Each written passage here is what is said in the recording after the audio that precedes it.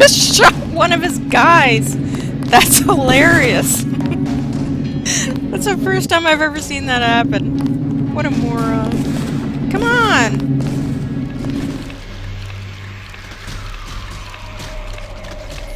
Hey!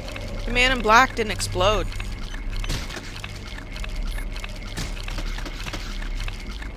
That's gross. Oh! Mommy! I have always been one of the most wanted. I will deal with the police in the way I deal with the slanderous press. How's that? Precisely the way I am going to deal with you. It's over, Jim.